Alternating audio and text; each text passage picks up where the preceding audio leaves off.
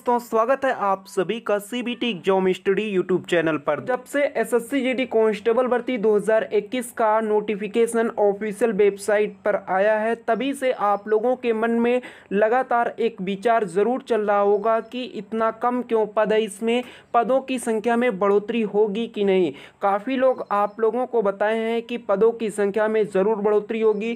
काफ़ी लोग आप लोगों को ये बताए थे कि पदों की संख्या में बढ़ोतरी नहीं होगी। बिल्कुल ऑफिशियल दोस्तों इन्फॉर्मेशन आ चुका है कि एसएसबी में, जी हाँ दोस्तों एसएसबी में अट्ठारह हज़ार पद और ऐड ऑन किए जाएँगे। सीआरपीएफ में दोस्तों, कोई वैकेंसी इसमें ऐड नहीं की गई थी, उसकी भी वैकेंसी इसमें ऐड की जाएगी। कुल मिलाकर दोस्तों, लगभग बासठ हज़ार के समथिंग आप लोगों का पोस्ट हो जाने वाला है। दोस्तों वीडियो को लाइक डिसलाइक करने से पहले आप लोग वीडियो को कंप्लीट देख लीजिए। आप लोगों को जो कुछ इन्फॉर्मेशन मैं बताऊँगा, बिल्कुल ऑफिशियल इन्फॉर्मेशन ही बताऊँगा। दोस्तों, आप लोगों में से कुछ कैंडिडेट को हो सकता है कंफ्यूजिंग हो कि इसमें पदों की संख्या में बढ़ोतरी होगी तो हम लोग पोस्ट प्रिफरेंस दे चुके हैं। पोस्ट प्रिफरेंस मांगना फिर से कोई बड़ी बात नहीं है, चाहे रेलवे हो, चाहे एसएससी हो।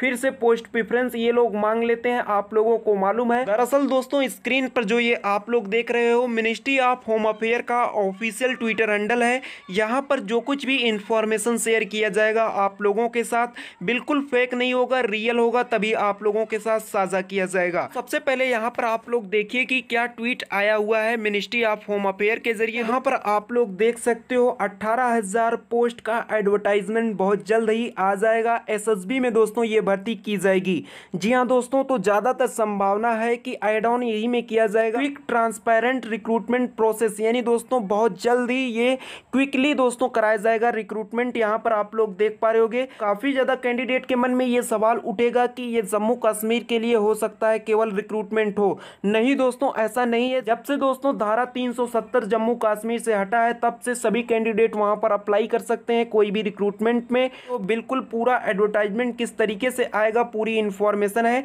आप लोगों को मैं बताना चाहता हूँ, आप लोग स्क्रीन पर देख सकते हो। कुछ दिन पहले इंफॉर्मेशन ये जो स्क्रीन पर आप लोग देख रहे हो, ये इंफॉर्मेशन मिला था। सीआरपीएफ में न्यू रिक्रूटमेंट एसएससी जीडी के तहत ही भरा जाएगा। असम का ये इंफॉर्मेशन है। अलग अलग रीजन का जब आप लोग एड ऑन करोगे तो आप लोगों को कुल मिलाकर उन्नीस हज़ार के समथिंग देखने को सीआरपीएफ में मिल जाएगा। कुल मिलाकर तो पदों की संख्या पच्चीस हज़ार दो सौ इकहत्तर है। उसमें आप लोग ये दोनों एड ऑन करोगे तो आप लोग देखोगे लगभग बासठ हज़ार प्लस आप लोगों का पद हो जाएगा। ये सभी इंफॉर्मेशन कब तक ऑफिशियल वेबसाइट पर एसएससी के आ जाएगा? दोस्तों, ज़्यादातर संभावना है कि 16 अगस्त के बाद, यानी दोस्तों 16 अगस्त के बाद 31 अगस्त तक किसी भी वक्त आप लोगों का ये इंफॉर्मेशन ऑफिशियल वेबसाइट पर एसएससी के आ सकता है। तो उम्मीद करते हैं आप लोगों का सभी कंफ्यूजिंग क्लियर हो गया होगा। वीडियो को लाइक कीजिएगा शेयर कीजिएगा चैनल पर नहीं हो तो सब्सक्राइब कर लीजिए।